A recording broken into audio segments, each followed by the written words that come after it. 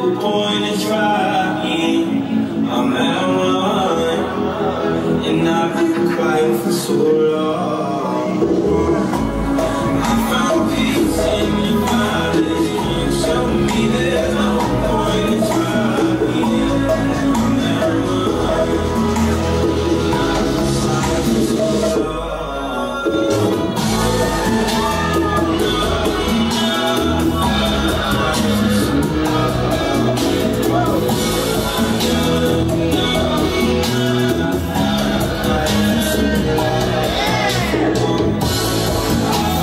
see.